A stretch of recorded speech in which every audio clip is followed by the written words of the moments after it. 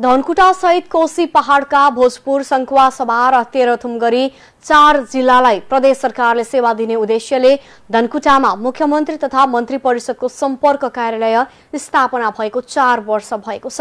कोशी प्रदेशबाट सञ्चालित विकास आयोजनाको अनुगमन मूल्याङ्कन गर्ने र अन्तर्गतका कार्यालयको प्रशासनिक सेवा सुदृढ बनाउने उद्देश्य राखेर दुई हजार छिहत्तर वैशाखमा स्थापना गरिएको मुख्यमन्त्री तथा मन्त्री परिषदको सम्पर्क कार्यालय लामो समयदेखि कामविहीन बनेको छ। एक रिपोर्ट।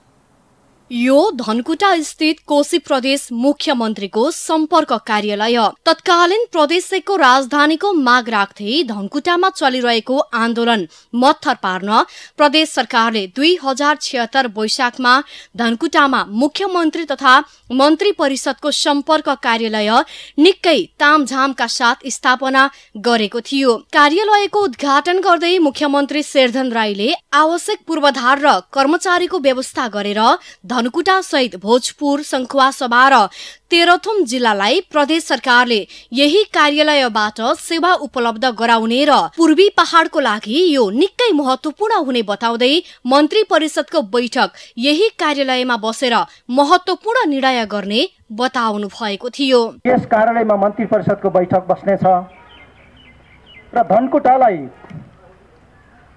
थप दिनुपर्ने उपहारहरूका बारेमा यही कार्यालयमा बस्ने मन्त्री परिषदको बैठकबाट हामी केही महत्त्वपूर्ण निर्णयहरू लिनेछौँ। धनकुटा भोजपुर सङ्घसभा र तेह्रथुम जिल्लालाई मुख्यत यही केन्द्रबाट नेतृत्व गर्नको निम्ति हामीले यो सम्पर्क कार्यालय स्थापना गरेका छौँ। तर अहिले गुनासा सुनेर सम्पर्क समन्वय अनुगमन र सुपरिवेक्षण गर्नु त टाढाको कुरा। कार्यालयलाई व्यवस्थित गर्न कर्मचारी समेत छैनन्।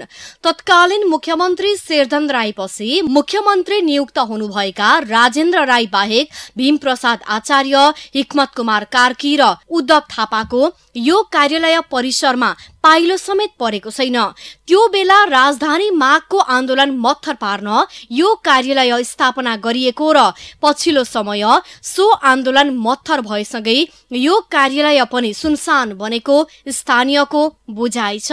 यो स्थापना हुनुको कारण चाहिँ त्यतिखेर धनकुटा राजधानी हुनुपर्छ प्रदेशको राजधानी हुनुपर्छ भनेर यो धनकुटामा मात्र होइन धनकुटाको आन्दोलन काठमाडौँमा पनि भएको थियो।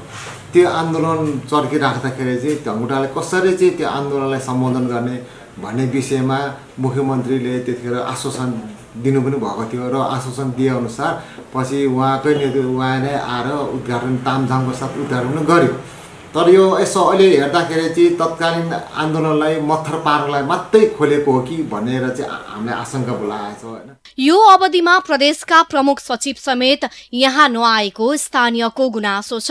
राजनीतिक र प्रशासनिक नेतृत्वले विकेन्द्रीकरणको मर्मलाई आत्मसात नगरेको र मुख्यमन्त्रीको सम्पर्क कार्यालय चलायमान बनाइने भनेर आफूहरूलाई भ्रममा पारेको धनकुटावासीको बुझाइ छ। त्यसो त धेरै धनकुटेलीले नै यो कार्यालयको कामको बारेमा बेखबर छन्। यस्ता काम नहुने कार्यालय बन्द गरिनुपर्ने उनीहरूको माग छ। वास्तवमा चाहिँ अब म यहाँको स्थानीय बासिन्दा भइराख्दाखेरि चाहिँ यो सम्पर्क कार्यालय भनेर चाहिँ त्यहाँ स्थापना गरिएको छ। तर कुनै पनि प्रयोजनमा आजसम्म यो चाहिँ मलाई पनि अहिलेसम्म मैले के प्रयोजनमा चाहिँ म यहाँ जाने अब गएको बेलामा पनि त्यहाँनिर कर्मचारीहरू भेटिनलाई नसकिने र त्यहाँ काम पनि नपर्ने भएकोले खासै काम पनि त्यहाँ छैन।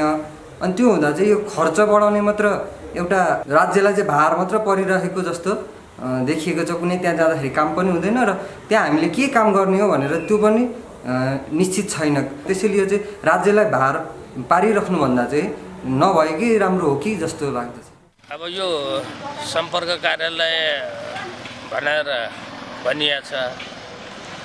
अब यहाँ सम्पर्क मात्रै होइन यहाँ चाहिँ रित्तो घर मात्रै छ अनि सम्पर्क कसले कसले बुझ्न पाएको छैनौँ अनि यसो हेर्दाखेरि कर्मचारीहरू पनि कोही छैनन् एकजना कार्यालय सहायक यसो त्यहाँ देखिन्छ बाँकी एकजना यसो सुरक्षाकर्मी जस्तो पनि देखिरहेको थियौँ त्यो पनि यति बेला चाहिँ त्यहाँ नभएर खाली नै भएको देखिन्छ। अब यो औचित्यहीन देखिन्छ यहाँको व्यवस्थापन।